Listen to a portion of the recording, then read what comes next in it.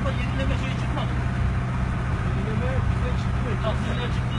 Değiştirdik bak yüzde kırk daha ucuz. Bize ne zaman çıktı? Yani 5 lira falan oldu. Zaten 100 kişi fazla kişi yapmadığı için araç işlerden borçlar. Bakın bana şey orada.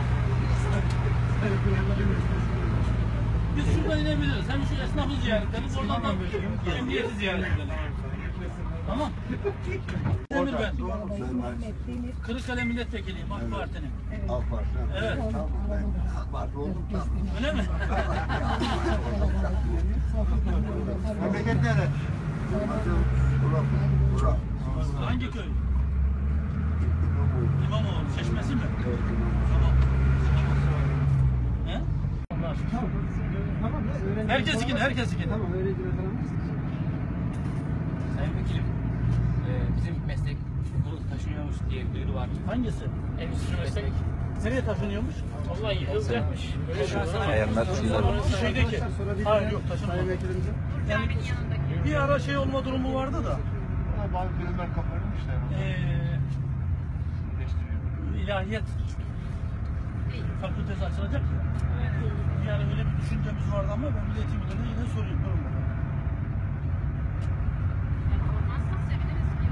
Haricinde vekilim yollar çok kötü ya. Yeni sanayiye taşınacakmış. Orada gidip gelmek çok Neresi? masraflı Ekiler- yani. Hayır Etilerin oraya basit bölüm açıldı. yollar yapılmış mı? Nasıl bozuldu mu yoksa? Abi çok bozuk. En azından şey, Hı? e, Güller'in orası bile çok bozuk yani. Güllerin. Perşembe pazarının alt taraf en yakın olarak. E onu da şeyi arayalım, Vedat'ı arayalım da. He? Göçeceğim. Ara.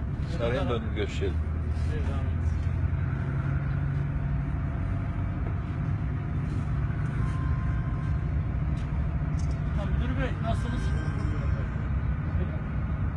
Endüstri meslek lisesinin kapanma durumu eee, soruyor seçmenlerimiz de. Nedir oranın durumu?